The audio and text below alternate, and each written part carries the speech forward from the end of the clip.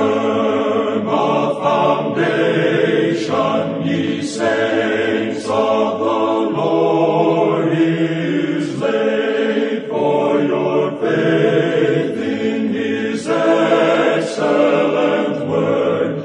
What more can he say than to you? Hundreds of years before Jesus died on the cross on that spring day in Jerusalem, God wrote through his prophet Isaiah a more vivid description of his son's crucifixion than is found anywhere else in the Bible. And we study it today in Isaiah 53. Welcome to Through the Bible with our teacher, Dr. J. Vernon McGee. I'm Steve Shwetz, inviting you to hop aboard the Bible bus for another great study in God's Word. Now, in the Gospels, we're not told too many details about Jesus' death. The Holy Spirit spared us those morbid details. Interestingly, it's Isaiah who paints the grotesque picture. But even then, we really can't know, even to eternity, all that Jesus endured in obedience to the Father, and what God demanded of Jesus out of his love for you and me. Today we get a new perspective on what John 3:16 described as the reason for God so loved the world that he gave his only begotten son that whoever believes in him should not perish but have everlasting life. Let's pray and begin this amazing and humbling study. Heavenly Father, your love for us stuns us into silence. Thank you for your son and his sacrificial death on the cross. Help us, Lord, to grow deeper in our comprehension of his holy mystery. In his precious name we pray. Amen. Here's Through the Bible with Dr. J. Vernon McGee. Now, friends, we're still in this very marvelous 53rd chapter of Isaiah, one of the great chapters of the Bible, and is so conceded, I think, by all schools of interpretation. Now, we left off last time with the statement in the fifth and sixth verses, and let me read this again to you. But he was wounded for our transgressions, he was bruised for our iniquities, the chastisement of our peace was upon him, and with his stripes we're healed. All we like sheep have gone astray. We've turned every one to his own way, and the Lord hath laid on him the iniquity of us all. Now, this is a very wonderful passage of Scripture, and I think there's several things that we need to note here, and we'll come to one or two of them later, but right now let me say that when it says, with his stripes we're healed, now the question arises, what are we healed of? Are we healed of physical diseases? Is that the primary meaning of it? Well, I'm going to let Simon Peter interpret this by the inspiration of the Spirit of God.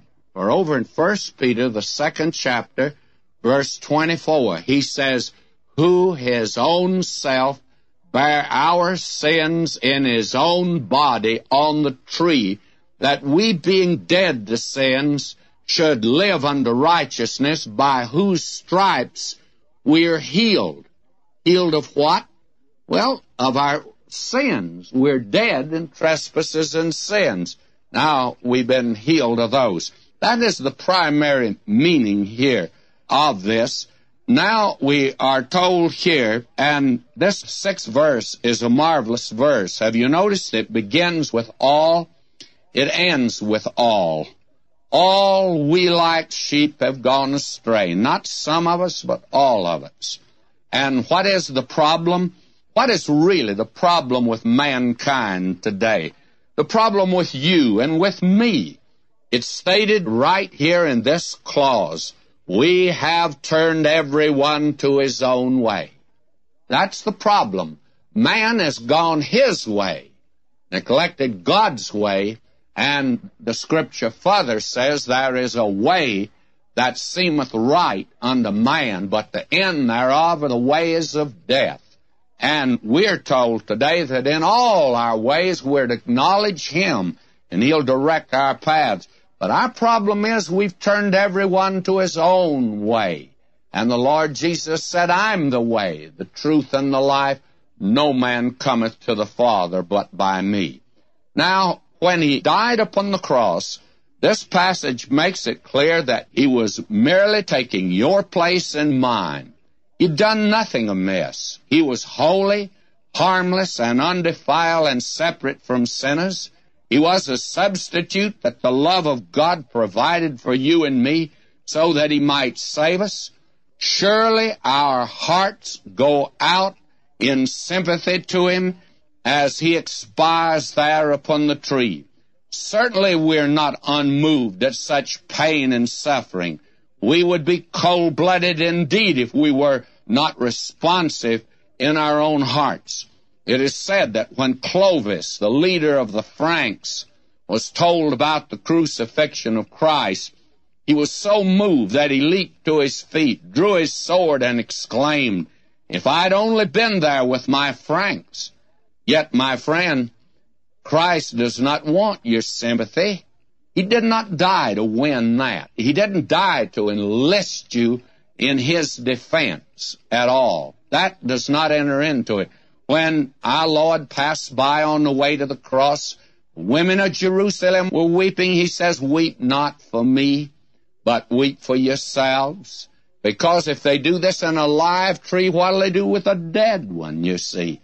They would even take the Son of God and treat him like that. Now, he's not after your sympathy. Well, may I say that our hearts may go out in sympathy to him as he expires there, and we certainly are not unmoved by it, but he didn't die to win our sympathy. Now, someone may be thinking that he died a martyr's death. He did not die a martyr's death, for he did not espouse a lost cause. He did not die as martyrs who in their death sang praises of joy and confessed that Christ was standing by him.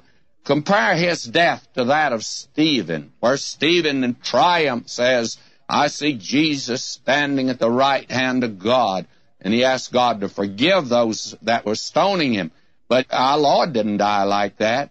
He was forsaken of God. He said, My God, my God, why hast thou forsaken me? His death was different. He died alone. He died alone with the sins of the world upon him. Now, someone else may feel like saying, well, what a wonderful influence the death of Christ should exercise upon our lives as we contemplate his life and death. Most assuredly, we ought to be persuaded to turn from sin. However, that just has not been the experience of man. And by the way, how has it worked in your life? That view will not satisfy as an explanation of some other statements in this chapter. All we like sheep have gone astray. We've turned every one to his own way, and the Lord hath laid on him the iniquity of us all. None of these will suffice to explain his death, for he's the Lamb of God that taketh away the sin of the world. He died for you and me. He took our place. Now we turn in this chapter to that which is the satisfaction of the Savior. And here is something else that is said. He's identified as a man of sorrows and acquainted with grief. Now the inference is drawn from this statement that Christ was a very unhappy man while here upon earth. And to fortify this position, a few isolated incidents are quoted where it says that he wept. Well, I want to correct that if I can. You read on here in Isaiah 53. Surely he hath borne our griefs and carried our sorrows. You see, it was our sorrow and our grief that he bore. He had no grief or sorrow of his own. He was supremely happy in his mission here upon earth, for it said of him, for the joy that was set before him, he endured the cross. May I say, these pictures that show him long face and very solemn, they misrepresent him. Even on the cross, joyfully, he took our place. And he made that cross an altar on which was offered a satisfactory payment for the penalty of your sins and mine. Willingly he died there, for its father stated, as a sheep before her shearers is dumb, he opened not his mouth. Perhaps you're saying just now to yourself, Preacher, that does not make sense to me. I do not believe that, nor do I care for that sort of religion. I do not want God to make a sacrifice for me. I did not ask Him to do it. Well, it is true, my friend, that you did not ask Him to do it. But let me ask you a very plain and fair question. I'm sure that you'll agree that man has got this world into a very sad predicament today. The wisdom of man has failed to settle the issues of this life. Now, had you ever thought that perhaps man may be wrong about the next life when he dismisses God's remedy with a snap of his fingers? Vain philosophy and a false science have not solved the problems of daily living today. Well, they may be wrong about the Bible also. They've been wrong in so many other areas. Now suppose for a moment that God did give his son to die for you, and he did make such a tremendous sacrifice. Grant that the cross is God's remedy for the sin of the world, and that it is the very best that even God can do. Now suppose also that you go on rejecting his proffered and gracious offer of salvation. Do you think that you can reasonably expect God to do anything for you in eternity? If God exhausted his love, his wisdom, and his power in giving Christ to die and patiently has waited for you to turn to him, what else can he do to save you? What do you suppose God can do for you when you reject his son who died for you? He would come again right at this moment and die again if that were needed to save you. It's no light thing my friend, to turn down God's love gift to you. Now, that doesn't end the gospel story. We do not worship a dead Christ, but a living one. He not only died, he rose again from the grave in victory. He ascended back into heaven. At this moment, he's sitting at God's right hand, and the prophet says, He shall see of the travail of his soul and shall be satisfied. That's verse 11 here. We have a living and rejoicing Savior, for his suffering led to satisfaction. He took our hell that we might have his heaven.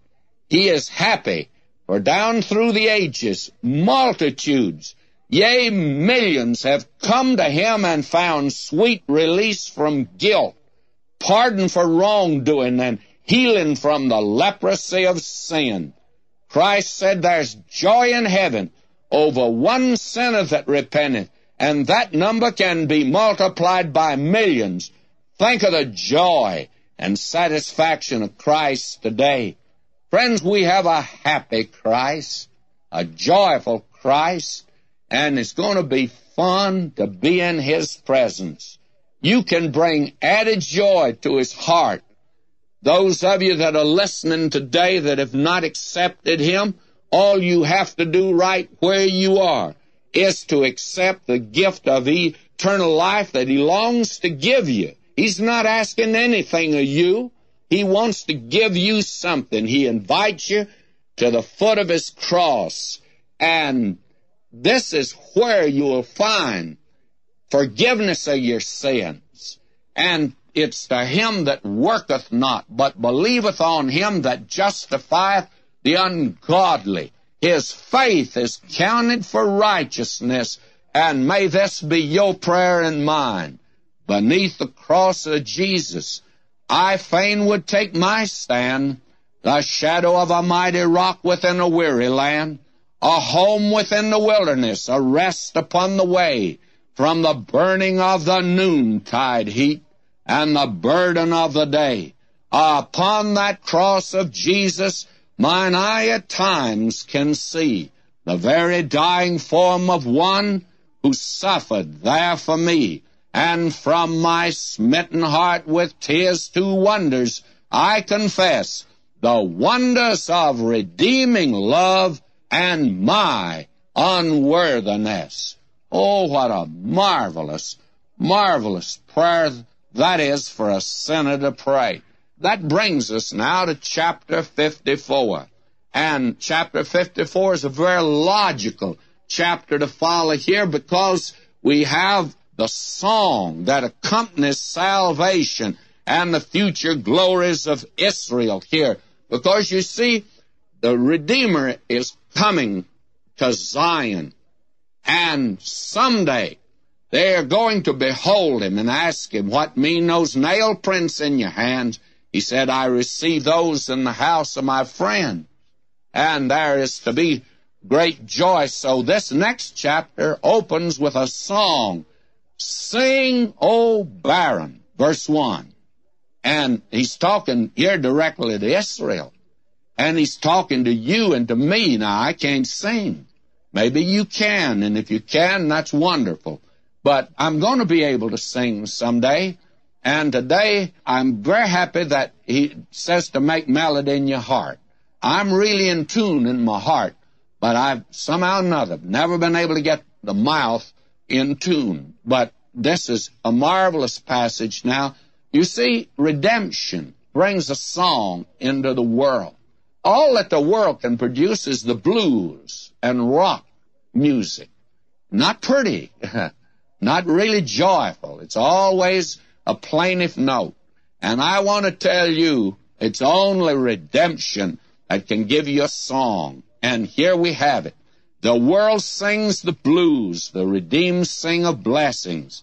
The world has its rock and roll, the redeemed sing of redemption. The world plays jazz. The redeemed have the reality of joy. And so there follows the sacrificial sufferings of the servant in chapter 53, now chapter 54, that opens with a great hallelujah chorus. And someday we're going to all join in this. It's in Revelation 5, verses 9 and 10. And they sung a new song. Well, it's going to be a new song because you and I both are going to be able to sing it, and it's going to be new for me. Thou art worthy to take the book, to open the seals thereof, for thou wast slain and hast redeemed us to God by thy blood out of every kindred and tongue and people and nation, and hast made us unto our God a kingdom of priests, and we shall reign on the earth. What a picture you have here you see, this is the church that's mentioned in Revelation. But here in the 54th of Isaiah, why, it is the nation Israel. The church is a chaste virgin. Here you have a restored wife. And I read now the rest of verse 1 because we have now in the first 10 verses the regathering and restoration of Israel as the desolate wife of Jehovah. Sing, O barren, thou that didst not bear, break forth into singing and cry aloud, thou that didst not travail with child. For more are the children of the desolate than the children of the married wife, saith the Lord. Now you have here this wonderful song, and I think you see it in miniature in the life of Sarah. Here is Sarah, barren, childless, and an old woman, 80 years old, no children. And now God makes the barren to bring forth. And just think of the millions that have come from her. May I say to you, that's the reason God's given us that story, is to let us know here. So the first word after the crucifixion in Isaiah 53 is sing. And it's a call to Israel to sing. But they're not singing over there today. In the past, Israel has been a barren wife, but out yonder in the future, her travailing is over because her travailing so far has only produced wind. It's like the mountain that travailed and brought forth a mouse. But her future is more glorious as there are going to be many children in the future. The Word of God makes it clear that the great days are right down yonder ahead of us. It gets gooder and gooder all the way along if you're a child of God. Today's better than yesterday. And you want to know something? Tomorrow's going to be better than today. Can't have it any more wonderful than this, friends. Verse 2. Enlarge the place of thy tent, and let them stretch forth the curtains of thine habitations. Spare not, lengthen thy cords, and strengthen thy stakes. Now, the nation Israel has never occupied the entire land that God has given to them. The land that God marked out for them, and you'll find it in Joshua 1 4, it was about 300,000 square miles. Even in their heyday, when they reached the zenith under David and Solomon, they only occupied 30,000 square miles. Quite a difference. Now God says, you're going to lengthen your cords and strengthen your stakes. You're going to be safe in that land. You won't need to be afraid of the Arab in that day. And during the millennium, they're going to occupy the total borders. And the city of Jerusalem was going to have large suburban areas and no traffic jams. Now, how the Lord will work that out, don't ask me, I don't know. But He's going to work it out. Verse 3 For thou shalt break forth on the right hand and on the left, and thy seed shall inherit the Gentiles and make the desolate cities to be inhabited. Now, the Gentiles have occupied most of the land of promise. They have it today. And they're going to withdraw to their own borders. The whole problem in the world today is that not only are individuals trying to step over in somebody's territory, but nations are trying to expand their borders too. That's caused the problem in this world today. You remember James, in a practical way, said, we just keep on wanting more and more and more. And that's what produces wars. Now he goes on here, verse 5 For thy makest thine husband, the Lord of hosts is his name, and thy Redeemer, the Holy One of Israel, the God of the whole earth, shall he be called. Now, God will own them as his redeemed in that day. Now we are told in verse 6 For the Lord hath called thee as a woman forsaken grieved in spirit, and a wife of youth, when thou wast refused, saith the Lord. Now, Israel is today like a wife that has been divorced for adultery. That's the figure of speech that's used.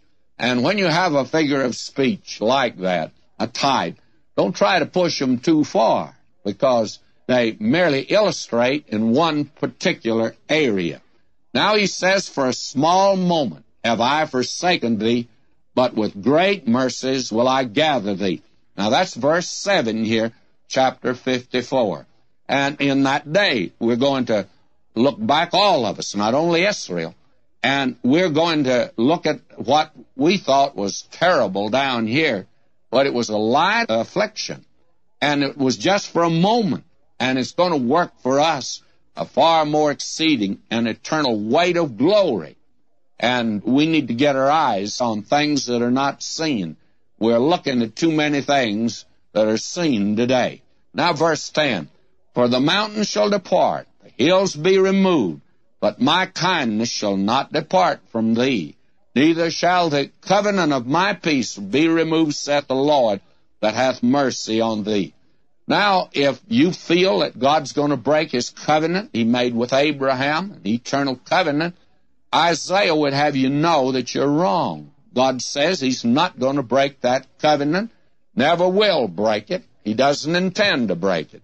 Now, we have in this last section here the rejoicing and righteousness of Israel as the restored wife. And that began here with verse 11. O thou afflicted, tossed with tempest, and not comforted, behold, I lay thy stones with fair colors and lay thy foundations with sapphires. Verse 15, Behold, they shall surely gather together.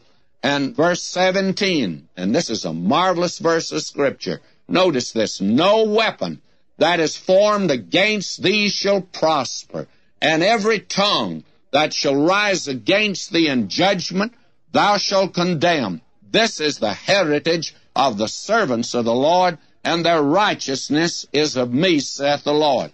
Too bad Hitler didn't read that. Too bad that Haman didn't take note of that. Too bad today that Russia didn't take note of that, or doesn't take note. And there are a lot of anti-Semites in this country ought to read that verse. God intends to do the thing he says right here. Next time now we'll begin at chapter 55 of Isaiah. Until then, may God richly bless you, my beloved. What a great promise of God to Israel and to every servant of the Lord. We're coming to the end of our study in Isaiah and return to the New Testament, 1 Thessalonians to be exact, in a couple weeks. So now is a great time to visit ttb.org and download your free copy of our digital book titled Briefing the Bible. In it you'll find all of Dr. McGee's notes and outlines for our five-year study, including those for 1 Thessalonians. Again, that address is ttb.org. Or if you'd prefer to receive an abridged copy of Briefing the Bible by mail, Use the request form online or call us at 1-865-BIBLE. Tomorrow we're in Isaiah 55, so join us as the Bible bus comes back by your corner at this same time. I'm Steve Shwetz, and I'll be here saving a seat just for you.